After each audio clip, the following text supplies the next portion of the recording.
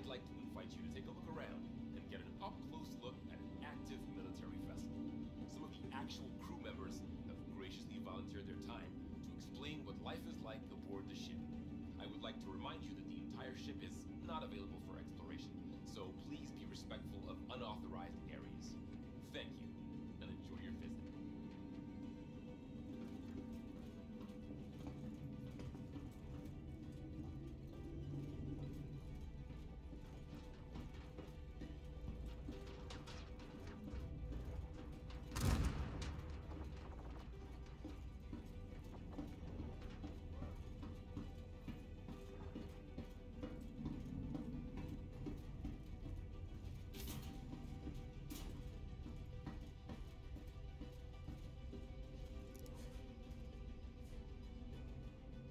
Hi folks, welcome to the Warhammer.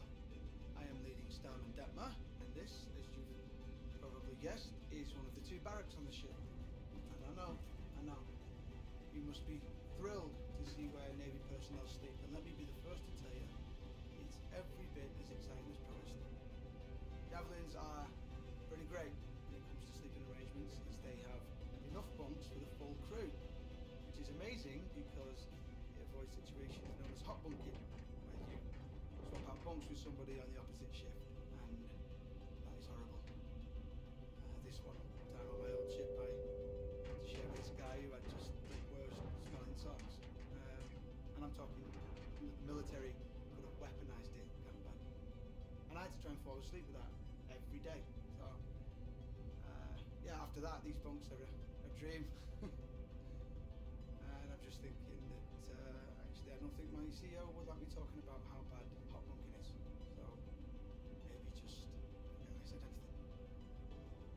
Anyway, uh, each one has special slots for personal effects um, and is capable of sealing you up to give you a little privacy. People are always moving around the barracks.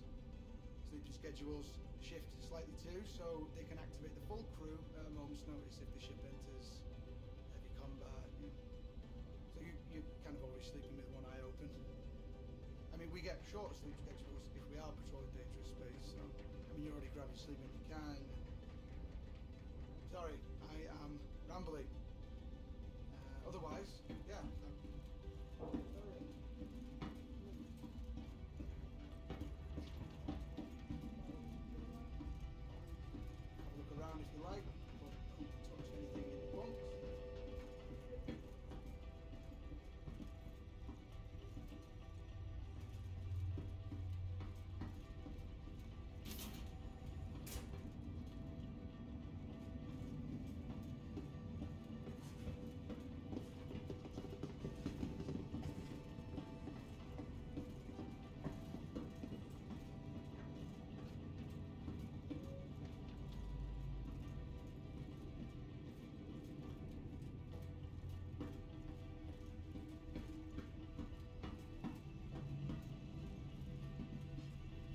ship-wide announcement.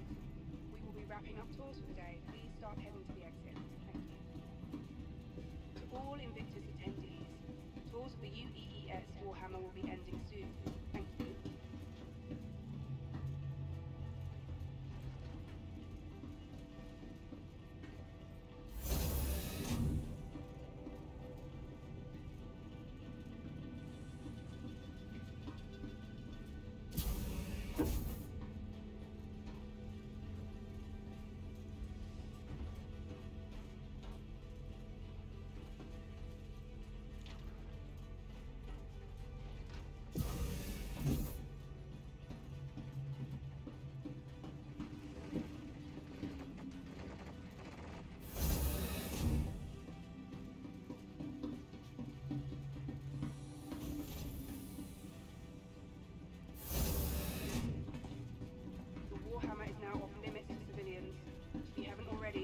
exit the ship immediately. Thanks to everyone who came out to support this year's Invictus, but the UEES Warhammer is now closed for tours.